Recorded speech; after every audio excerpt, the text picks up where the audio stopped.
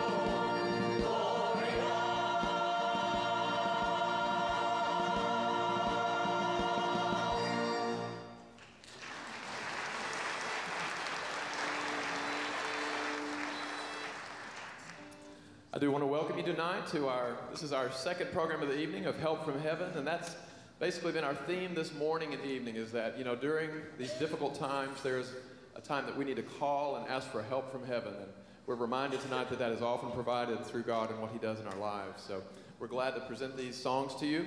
Hope they are a blessing to your hearts as you're here this evening. I do want to remind, if you are parents here tonight, um, you can pick up your kids right now. They'll be in the same room where you dropped them off um, just a little while ago. So if you need to go get them, that'll be fine. Um, but they'll be need to be picked up right now. So anyway, but we are glad to have you. So don't forget. Uh, so um, we are going to do a piece now from Handel's Messiah for you. Um, it's called "Glory to God."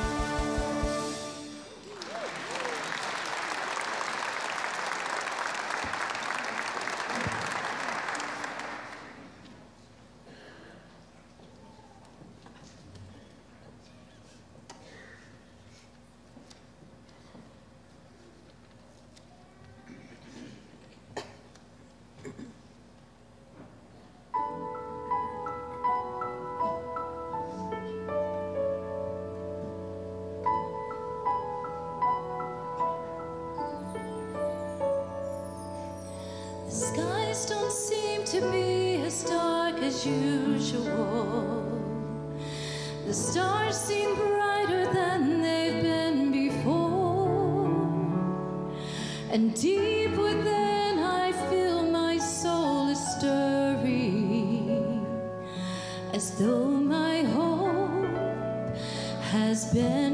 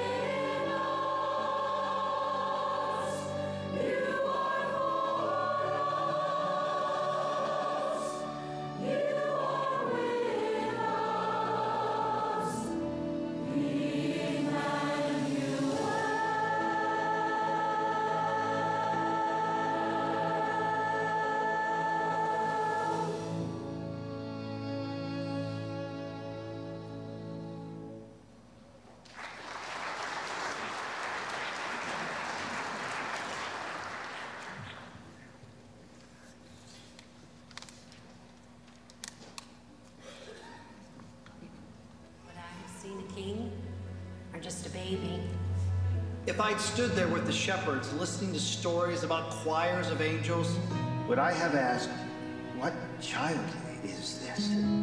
Or would I have known that he someday would be the shepherd of all? If I'd watched wise men bring valuable gifts and kneel down under the guard of heavenly wonders, would I have understood that he was the one in whom I'd find all wisdom? And that he was the greatest gift of all. Just as that baby was held by his mother. He would hold me. He would hold me with his amazing grace. And his adoption by his father Joseph would be a picture of my adoption into God's family. Who could comprehend that this baby who was defenseless, swaddled, and held, would someday be the one holding me in his hands? I didn't witness a star moving across the sky. Or scores of angels proclaiming his birth. But somehow, in the middle of my ordinary world, this extraordinary baby's birth found a place in my worn down, beat up heart. So, like all those people who saw him, he's the one I've been waiting for. To repair me, redeem me, love me, forgive me, comfort me, help me, die for me, raise me to life. So, what child is this? He's the one who comes to save me. He's the one who comes to save me. To save me. To save me. He's the one who comes to save me.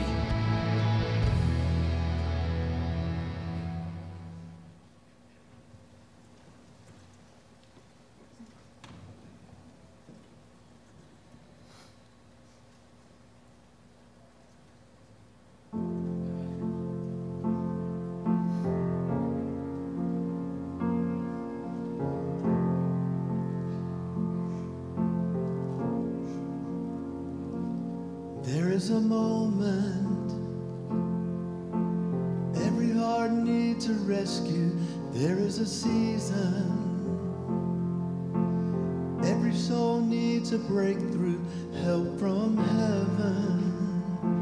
We all need help from heaven.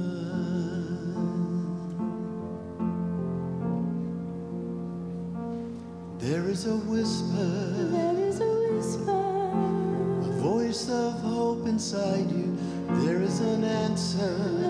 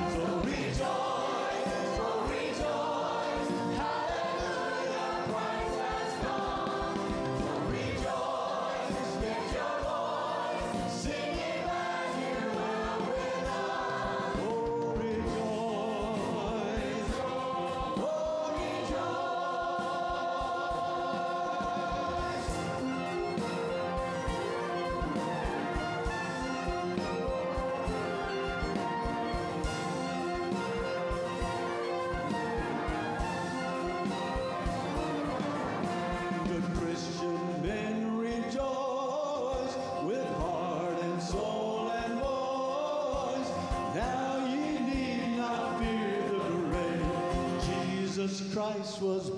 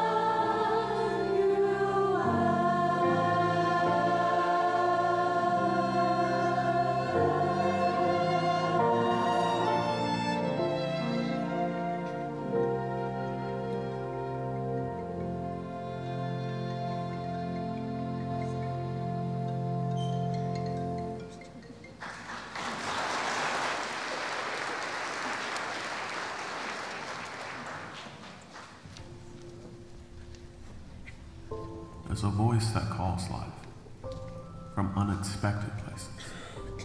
Barren lands will flourish with new creation. There's one who is searching for the pure in heart, waiting to find those who will trust.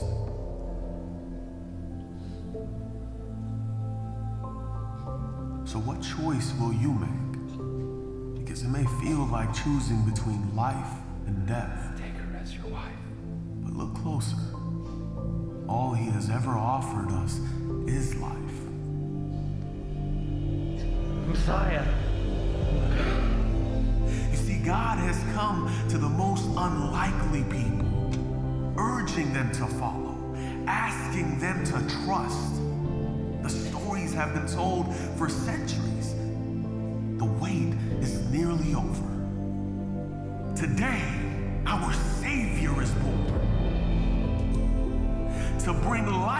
into dark places, to be the voice in the wilderness, to call you to come home, to bring joy to the world. God has chosen you,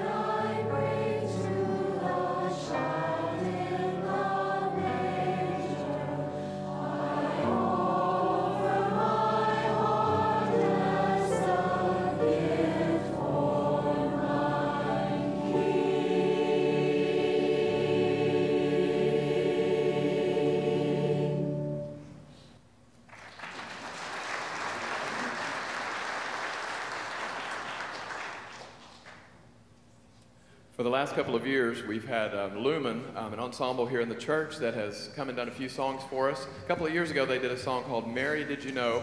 And we've had so many requests since then for them to do it again that they're going to do it again tonight for us. Mary, did you know?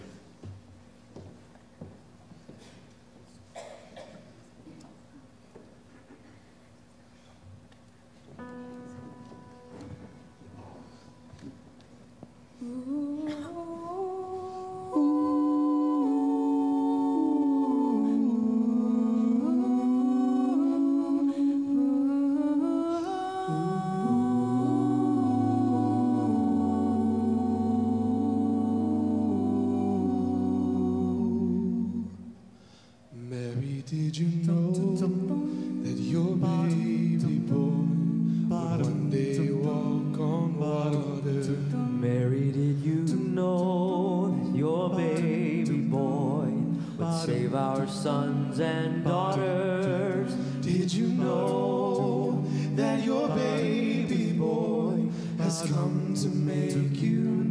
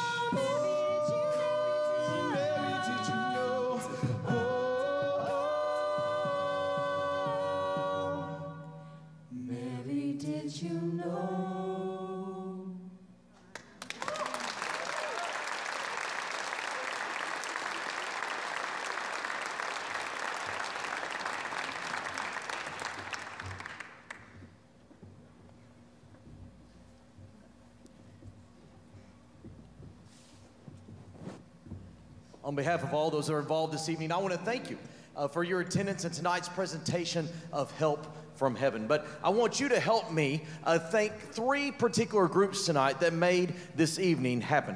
I'm going to begin with those that are the unseen heroes of a performance such as this, and that is our sound and media and technology department, those guys that are in the booth. And also those guys that are down in broadcast below us. Thank you, all of you that made tonight.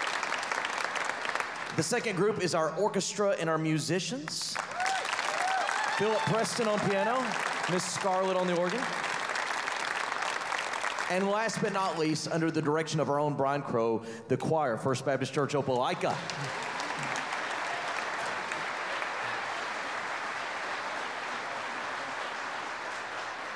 Tonight, there's one more piece that they're going to bring to us. But before our benediction song, I want to leave you tonight with a Christmas modern day parable. In fact, this is a story that was made famous by the late great radio personality, Mr. Paul Harvey.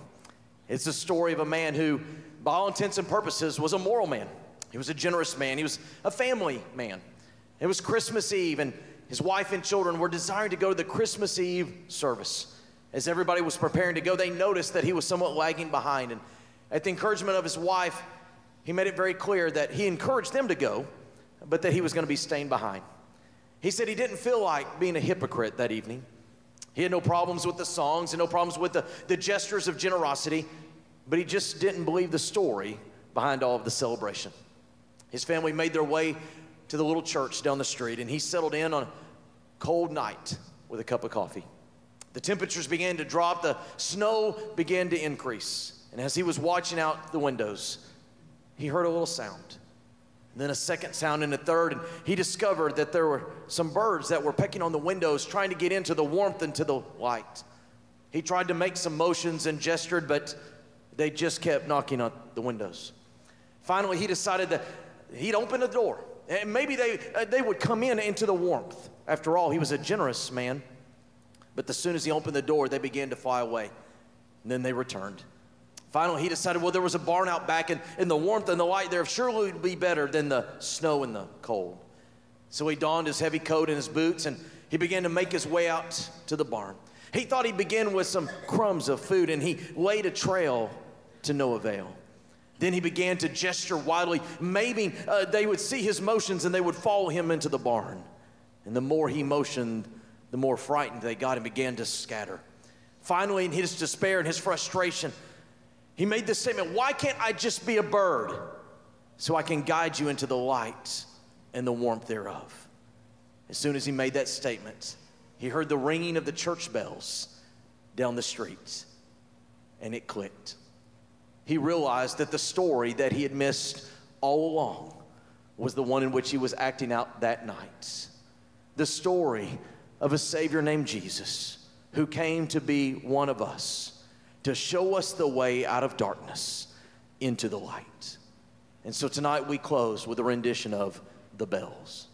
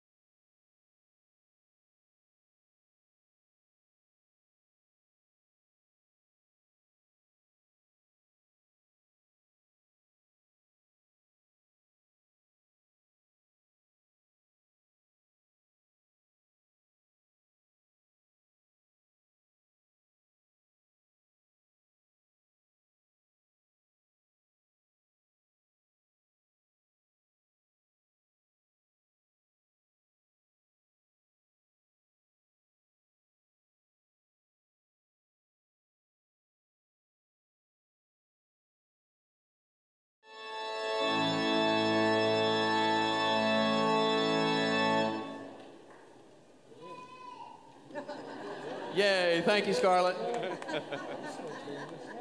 hey, it's good to see you in worship here tonight. We're so glad that you're here as we continue our Christmas celebration this evening. Um, the kids have been working really hard today, getting their program ready, so I, we're really excited about tonight. Um, we believe here at First Baptist in the importance of teaching kids how to worship, how to lead in worship, and making that just a, an integral part of their lives. And so we're looking forward to them leading us tonight as we go through the service this evening. Let's pray together as we begin. Lord, we thank you for the beauty of music, and especially at this, this Christmas season, this Advent season, where we can emphasize the hope and the joy, the peace and the love that you have brought into each of our lives, Lord. We thank you for that indescribable gift of Jesus. We thank you for these children that will sing your praises tonight to every generation. In your name, we pray. Amen. We're going to have a processional carol as the kids come in tonight, but you will remain seated while we have that time.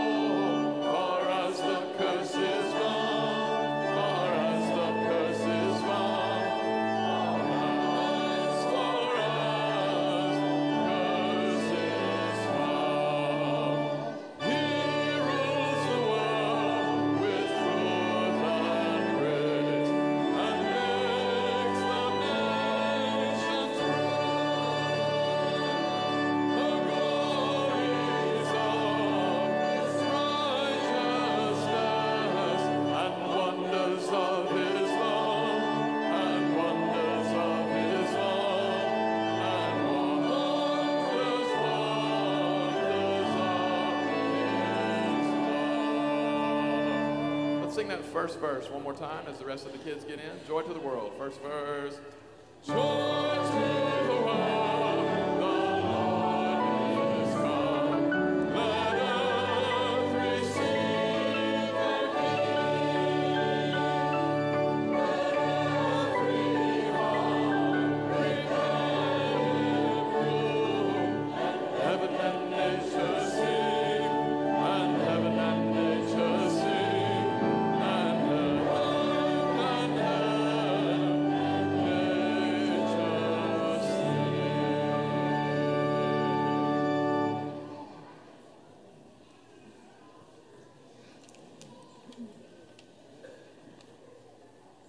I know that um, Brian just said the kids have worked on their program, so I'm sure you're wondering why some of these kids have beards. Um, but we are excited. We are a couple of the team from the youth um, worship team that meets with the 7th through 12th graders. Um, this is Camille Powell, Victoria Kyles, Wyatt Albertson. Sam Jones, I'm Paxton Brittle. This is Trevor Dodson. Uh, Trevor and Sam are in college, um, and then these three are in high school, and we're part of the worship team that leads every Wednesday night. And so we're just going to um, lead you on a little bit of worship. This is a song called Mighty Cross, which I'm sure you've heard before. So we're going to get set and we will go. Thank y'all for having us.